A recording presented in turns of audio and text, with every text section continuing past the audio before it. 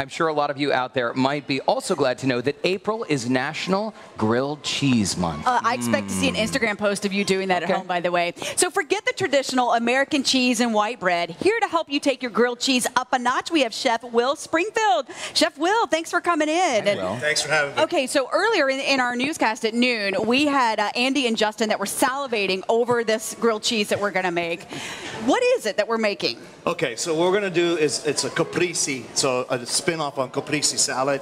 But we're using sun-dried tomatoes, and uh, there's a uh, macaroni and cheese, and we're incorporating all the uh, uh, Different cheeses, cheeses? that we're using. So sun-dried tomato and macaroni and cheese in addition to the cheese on the grilled cheese? yeah, so we, we're, we're a going lot of double cheese. carb, double super carb, and triple cheese. Yes. Not okay, we love it. And also, I noticed that the cheeses that you brought down there, we we have, we have little note cards here. I I don't think I can pronounce really any of these. Oh, so I maybe can get Comte. I got that one. That's good French cheese. These are uh, three French cheeses that people might not be familiar with. We've got uh, Emmental. Uh, that's from the uh, Normandy region. It's smooth and creamy. Hmm. It's distinctive for its holes like Swiss cheese. Then we got Mimolette. When it's whole, it looks like a cantaloupe. Oh yeah. That's oh, also cool. from Normandy. Yeah, it's a really cool cheese. That's sharp and nutty. So that's going to have a real strong flavor then. Yeah. Okay. And then we have the Comté, which is made from unpasteurized cow's milk, where the other two are pasteurized cow's milk, and that's from the Comté region of eastern France. You know, I always have been partial to like stinkier cheeses because I feel like some cheese like mozzarella, no offense to mozzarella fans, but it's sort of like there's not a lot of flavor. So Yeah. what's the point? I want to really taste my cheese. You want that smack you in the face kind of cheese. So today we will taste the cheese. What are some of the basics of creating a really good cheese sandwich? Okay, so you want to have a really good bread, no doubt. So Uh, bye bye white bread. yeah, bye bye white Well, bread. that's like a pretzel bread, huh? yeah, this is pretzel bread, exactly. This is an olive loaf. And then this is a multigrain bread. Nice. And then it's just the ingredients and, uh, you know, warming the cheese up. Cheese is best if you serve it room temp. It's almost like wine. So don't the pull it don't pull it out of the refrigerator and go straight into your sandwich. Let it sit on the counter for a little bit. Exactly. Let it sit out for a little bit. And mustard and uh, chutneys or flavored jellies go really well So you with it. kind of did this like a little cheese platter. Yeah. All right. So can we start assembling one? sure. Can you show us how to do it? So this we go. pan over here is getting really hot. Yeah, yeah.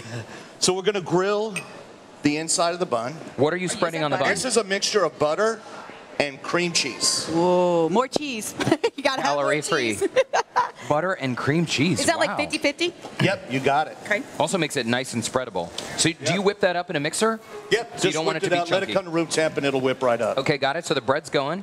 And we're also going to put that in the, uh, uh, the the center of the bread, or on the inside of the bread. Oh, Wait, so that that's mac the mac and So cheese? you put the mac to- and You put the tomato, the sun-dried tomatoes in the mac and cheese. yeah, there's some sun-dried tomatoes in there, or you can sprinkle some on top. But I put I like sun-dried tomatoes a lot, so I did both. Will, your mac and cheese looks very gourmet. What if someone at home just wants to make regular mac and cheese out of a box? So there's a panini press, and panini presses are great. They just don't work really well on these tall sandwiches. But on the smaller sandwiches, you can also adjust them, though, for the fatter See, sandwiches. that to But me is a sandwich- Panini press is a wonderful thing to have in. in that big house. sandwich is a sandwich that you have to use a fork and a knife to eat. Yeah, no Okay, so doubt. Our bread is getting nice and hot over here. Not get toasty, so we're going to put a little bit of the same mixture. More butter use and cream cheese. Yep, more fat. The cheese isn't fatty enough, so we're going to add some more. Gotta add more. You know, we, we You're always healthy with the basil and the tomatoes. It's all good. and it's good to indulge once in a while, right? We'll do some bacon. Bacon. That's what I missed. It's on the other one. Bacon, a little more sun-dried tomato. Wow, I hope Andy and Justin are watching this back Yeah. at the station. Oh, will be so, so Basil yummy. leaves. Fresh basil, my favorite.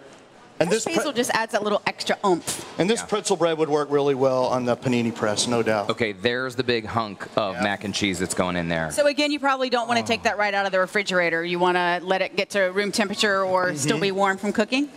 Yes, exactly. I've had it out in the studio for a while, so it's gotten a little firm. But yeah, if it was good. fresh out, made it uh, just a couple hours. So, prior. Will, what kind of wine goes with the grilled cheese? Okay, so what I have is a really nice. This is a boutique winery out of Napa.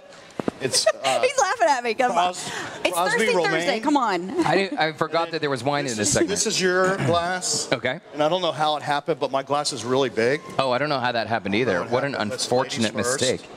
Is our It's a sandwich boot- going to burn over there while we're It's a, drinking it'll be- wine? it's a little boutique winery out of Napa. It's a family owned. And you can check out their wines. It's about $34 a bottle. It's a Chardonnay. Oh, a Chardonnay. Mhm. It's got honeydew and pineapple notes and a lemon lime spice finish. And you can uh, look check out their wines at crosbyroamann.com. Hold up this label nice. just so people Nice can see crisp what it wine is. goes really nice with grilled cheese. Nice. So a crisp white wine with your grilled cheese. Do we need to turn that down over there? that's nice. It's starting to smoke over there. Yeah, that's good.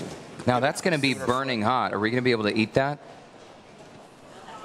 It's all good. Guys, I wish smell-o-vision had been invented because that smells so, So just, nice. just to recap, you have three different kinds of French cheeses. Uh, then you've got the sun-dried tomatoes mixed in with the mac and cheese. You've got the bacon. You've got basil, a little bit of 50-50 butter and cream cheese on a pet- pretzel got it. bun.